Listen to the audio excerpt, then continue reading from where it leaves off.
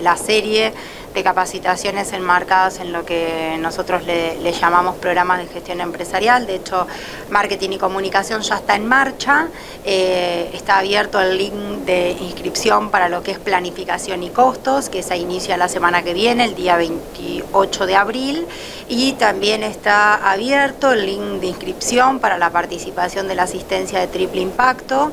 Eh, esa asistencia comienza a desarrollarse también de manera presencial en la semana del 9 de mayo, así que son, son muchas las herramientas a las que los emprendedores pueden este, acceder para poder participar y acompañarlos en el, en el sendero de desarrollo de sus emprendimientos.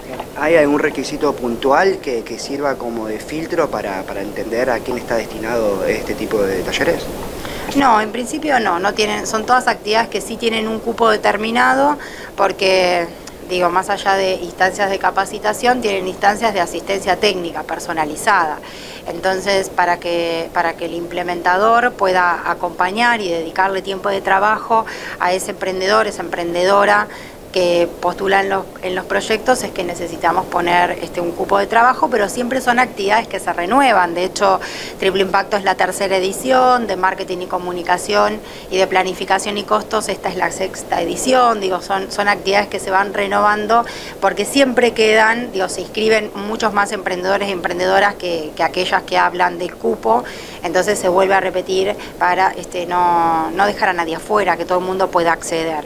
Eh, ¿Puede el emprendimiento estar formalizado, como no, eh, a los que no se los acompaña, se, intenta incentivar que, que se formalicen el desarrollo de sus actividades, pero no hay una restricción. ¿Cuáles son los canales disponibles para que el vecino pueda acceder a ese link y, finalmente inscribirse? Bien, eh, hoy están activos en, el Facebook del Ministerio de Producción y Ambiente, están las publicaciones con las convocatorias respectivas, con el link de inscripción, es muy sencillo, uno accede a ese link, completa datos personales y gente de la Secretaría de Desarrollo Productivo y PYME, del equipo técnico, se comunica con el emprendedor, este, en el caso de que haya quedado seleccionado y en el caso de que no también para comunicarle nuevas fechas, eh, nada, y se lo invita a ser partícipe de estas primeras actividades presenciales.